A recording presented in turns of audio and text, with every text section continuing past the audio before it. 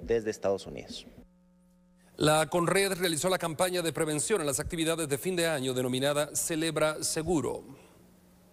Con el objetivo de prevenir accidentes y situaciones que ponen en riesgo la integridad de la población guatemalteca, la Coordinadora Nacional para la Reducción de Desastres con Red, en conjunto con representantes de entidades de primera respuesta, como lo son Cuerpos de Socorro, Provial, Cruz Roja Guatemalteca, la Municipalidad de Guatemala, entre otros, realizaron el lanzamiento de la campaña de prevención en las actividades de fin de año denominada Celebra Seguro. Sí, precisamente todos sabemos que las personas celebran eh, las fiestas de fin de año con mucho júbilo, pero también quisiéramos que las celebraran con prevención, ¿verdad? O sea, reconocemos que durante varios años ha habido muchos accidentes y muchas heridas por quemaduras. Eh, producto de, los, eh, de, los, de la pirotecnia y entonces queremos que por, estén seguros en esto, ¿verdad? Y que tomen las medidas necesarias para poder evitar estas quemaduras y, estas, y estos fallecimientos por pirotecnia.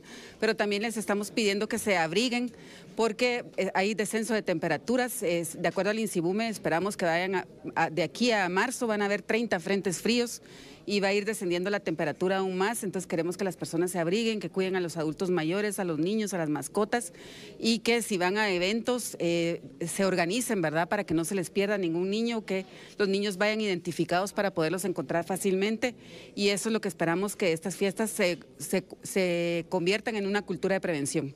El plan Celebra Seguro tiene el objetivo de salvaguardar la vida de los guatemaltecos y por medio de la campaña prevenir para que las personas sean responsables a la hora de transitar en carretera, de utilizar pirotecnia y con el cuidado de sus hijos. La campaña entró en vigencia desde el pasado domingo y finaliza